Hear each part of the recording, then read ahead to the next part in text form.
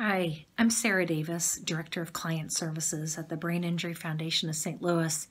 And I wanted to talk just for a moment about return to work um, for professionals.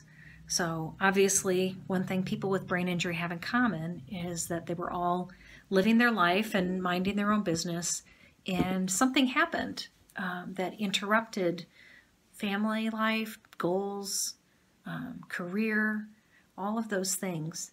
And I see my job and my role in helping people return to work as getting some of those things back.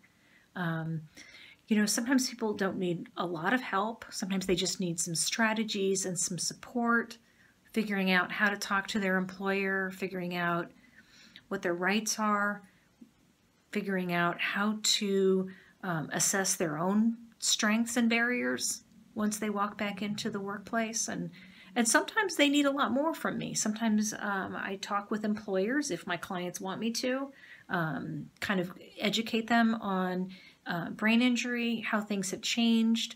Sometimes I make um, assessments for getting people the right kind of equipment so that they can um, use computers or, or any other kind of equipment with changed physical and cognitive abilities. Um, there's a lot of strategies out there that would allow people to go back to doing what they were doing before that uh, that people don't even know exists. Um, and then another really important part of return to work is figuring out benefits. Um, a lot of folks are getting short-term disability, long-term disability. Some are getting Social Security disability. Um, asking questions about FMLA, what happens after 12 weeks, because I think we all know you can't recover from a brain injury in just 12 weeks. Um, we believe recovery happens across a lifetime, but for some people, 12 weeks isn't long enough. We need more. Um, how, do, how do I figure out uh, how do I figure out what my leave of absence is, how long I have to recover, how I'm going to get paid, how I'm going to pay my bills, all of those things. And um, so, and I have training as a benefits um, uh, in, in advising people about their Social Security benefits and a lot of experience working with uh, disability insurance companies um, to help preserve those. And then finally, figuring out what are going to be the parameters of getting back to work. What is that release to work letter going to look like from the doctor?